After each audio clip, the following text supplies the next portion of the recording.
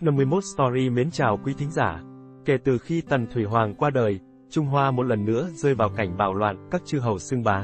Nổi lên trong thời loạn có hai nhân vật xuất chúng hoàn toàn trái ngược nhau. Đó là Lưu Bang và Hạng Vũ. Hai người đi theo con đường khác nhau, với những sở trường và sở đoàn khác nhau, nhưng chỉ có một người có thể thống nhất thiên hạ, lên ngôi hoàng đế. Hạng Vũ có công trong việc lật đổ nhà Tần và tranh chấp thiên hạ với Hán cao tổ Lưu Bang đầu thời nhà Hán.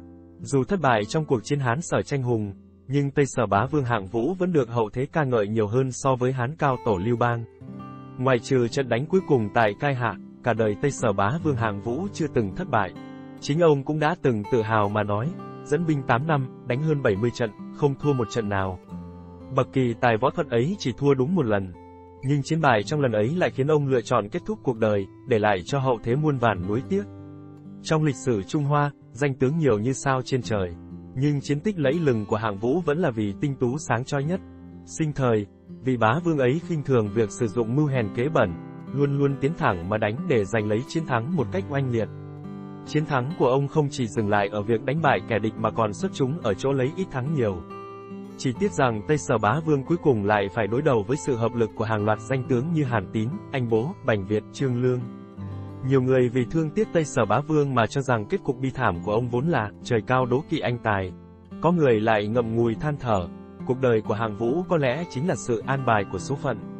Trải qua ngàn đời sau, người Trung Quốc vẫn nhớ đến cuộc đời thăng trầm của Hàng Vũ.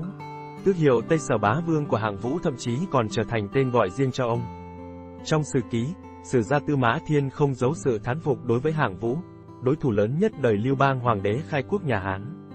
Tư Mã Thiên còn làm riêng hạng vũ bản kỷ, coi ông sánh ngang với các hoàng đế Trung Quốc đầu tiên như Tần Thủy Hoàng, Lưu Bang chứ không phải là các chư hầu như Câu Tiễn hay Trần Thắng.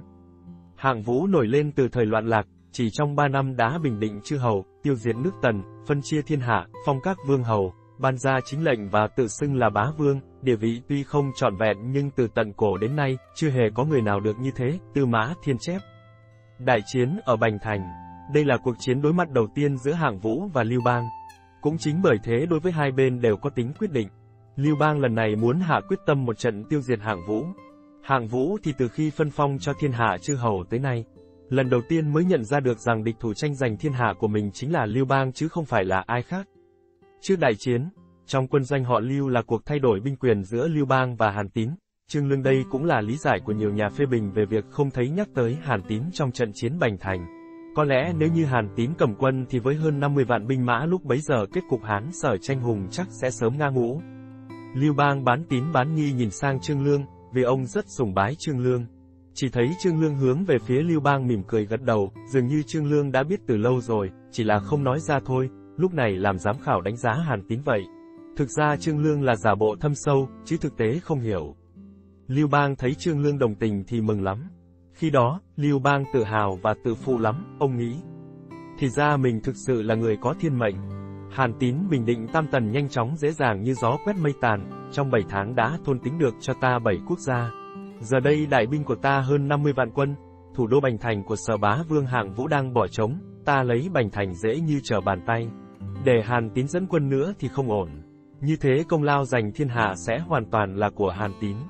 Ta đã có thiên mệnh trên thân, ta dẫn 50 vạn đại quân chẳng phải cũng có thể hạ được bành thành đó sao? Như thế thì công lao bình định thiên hạ chính là của ta rồi. Hôm sau, Lưu Bang đoạt binh quyền của Hàn Tín, chuẩn bị dẫn đại quân của bảy nước chư hầu gồm trên 50 vạn người, đích thân chinh phạt Bành Thành. Lúc đó Lưu Bang đang dương dương tự đắc, ta có thiên mệnh, ắt sẽ diệt Tây Sở.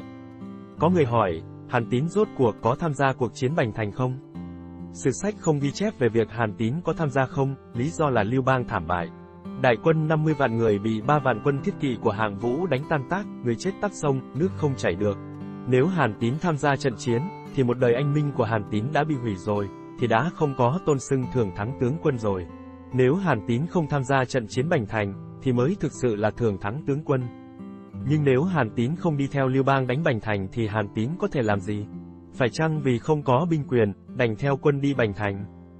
Bất kể người đời sau suy đoán thế nào, thì chân tướng hiện thực lịch sử chỉ có một, và vẫn được lưu lại hình ảnh. Người có huệ nhãn thông ở tầng cao đều có thể nhìn thấy. Hiện thực là hợp tình hợp lý nhất, giả tượng thì không hợp lý. Thực tế Hàn Tín có đi Bành Thành hay không, bạn có thể đoán thử, tại tại sao sử sách nhà Hán không có ghi chép? Có người nói, bản thân tài liệu lịch sử cũng không thể việc gì cũng đều ghi chép hết được, luôn có sự lựa chọn việc gì ghi việc gì bỏ qua. Tuy nhiên, sự kiện 50 vạn quân đánh Bành Thành có phải là việc nhỏ không? Thất bại này liên quan đến ai nắm binh quyền? Tôn chỉ trung tâm của sử sách nhà Hán là phỉ báng Tần Thủy Hoàng, bôi nhọ Hàn Tín. Đây là hai tội ngụy sử lớn tài trời, là tội lớn như tội phỉ báng thần Phật, nhiều kiếp khó trả nợ hết.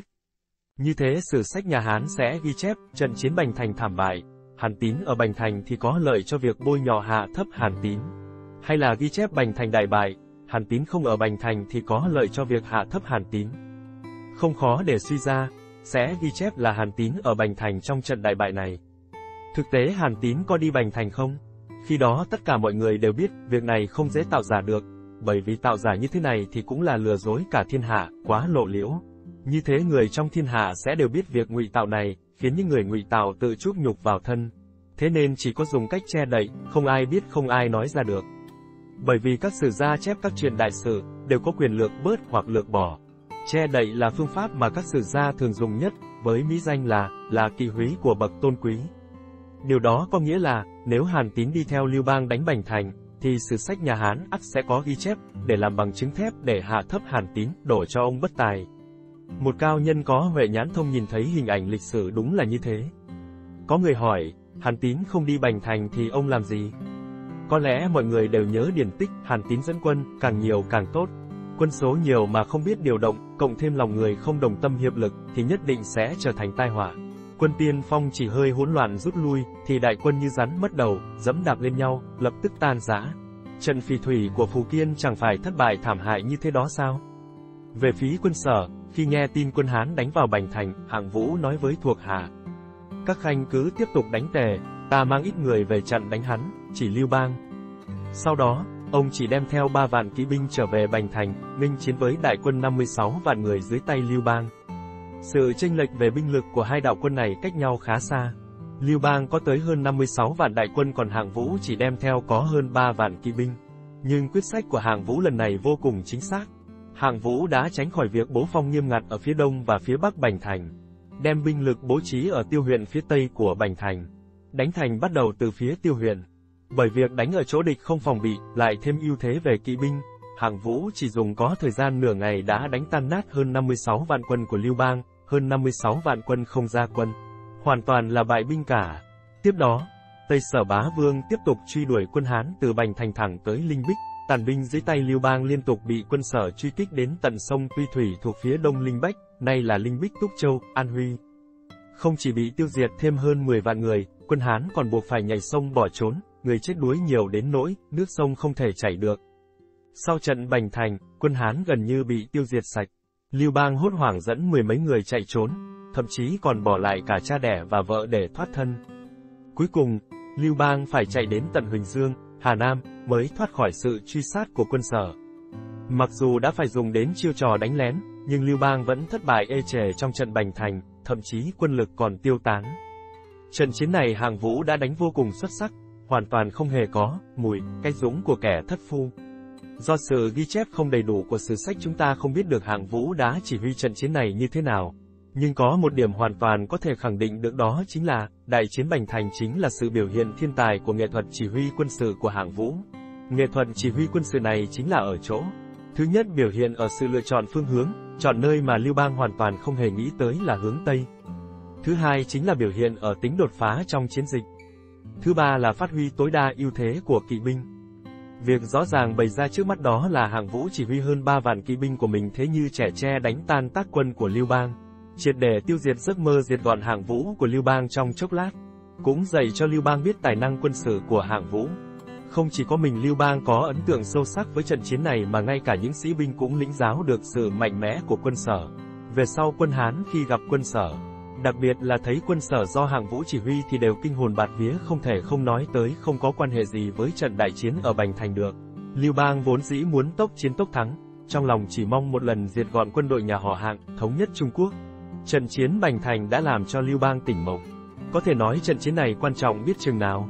Thiên tài chỉ huy quân sự của hàng vũ đã làm cho trận chiến ở Bành Thành đi vào một trong những trận chiến kinh điển nhất trong lịch sử của quân sự Trung Quốc về việc lấy ít định nhiều. Chúng tôi xin kết thúc bài chia sẻ của mình tại đây. Xin chân thành cảm ơn các bạn đã dành ra thời gian quý giá để lắng nghe bài chia sẻ này. Xin kính chúc quý thính giả cùng gia đình luôn luôn hạnh phúc, thành công và bình an trong cuộc sống.